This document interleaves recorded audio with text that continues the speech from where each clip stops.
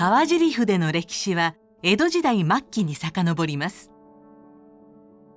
畑義行さんは川尻筆を代々継承している家系に生まれました。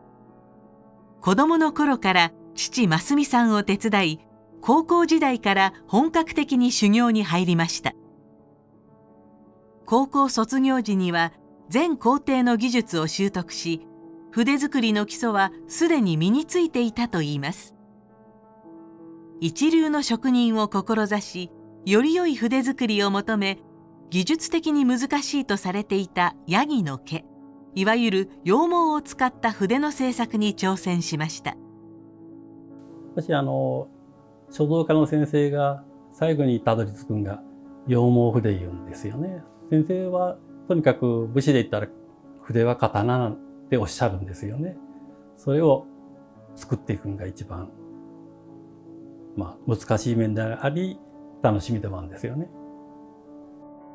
羊毛筆は野生のヤギの毛を30年以上熟成させて使用します。時には40年以上もかかるといいます。筆の性格はさまざまな性質の毛をどのように組み合わせるかが鍵です。書道家が望む筆を想像しながら一本一本の艶や状態を見て束ねていきます。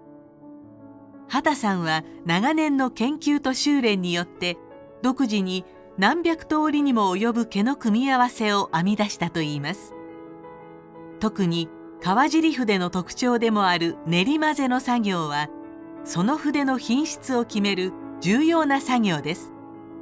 ここでも切れ毛や逆毛などを徹底的に除去します。ムラが出ないよう均一に混毛するために同じ工程を納得のゆくまで数十回も繰り返すことで独特の粘りが生まれ毛の耐久性が上がり最高の品質に仕上がります。